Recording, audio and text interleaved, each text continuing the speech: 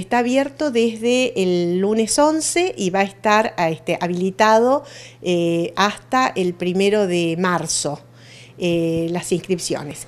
Eh, bueno, es una convocatoria que la universidad viene haciendo desde el mes de agosto del año 2016 al inicio de cada cuatrimestre.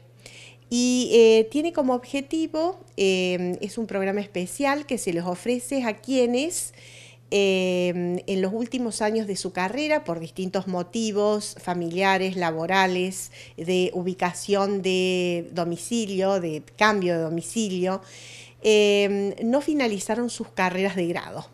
Entonces tienen la posibilidad este, de inscribirse en el programa, em, comunicarse con eh, los coordinadores de cada una de las carreras, que son un poco quienes median entre estos aspirantes y eh, a, finalizar las carreras y los equipos de cátedra.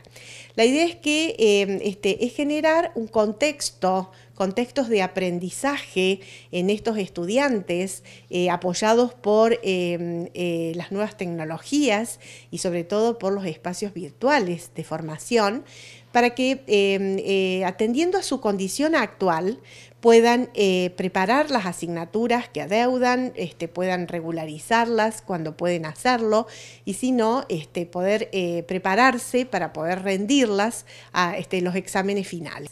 ¿Cuál es la respuesta que está teniendo esta convocatoria desde el momento que ha sido implementada ya por el año 2016?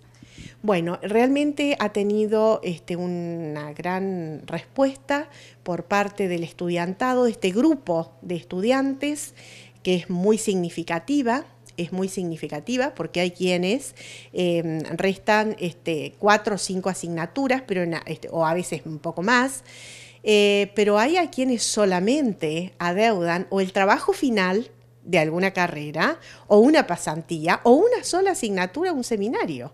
O sea que por un solo espacio curricular, estas este, personas no están finalizando la carrera. Entonces, esta es una gran oportunidad para poder hacerlo. ¿El programa atiende cuestiones particulares, casos especiales?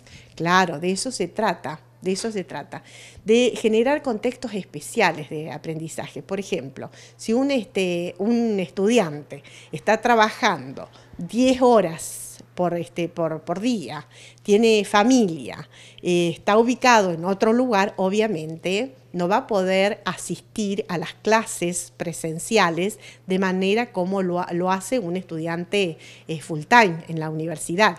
Entonces, claro, hay que estar atendiendo y eso es este, posible porque en general hay muy buena disposición de los equipos de cátedra, de los equipos docentes para este, adecuar sus propuestas a las situaciones que tienen, a la diversidad de situaciones que se plantean.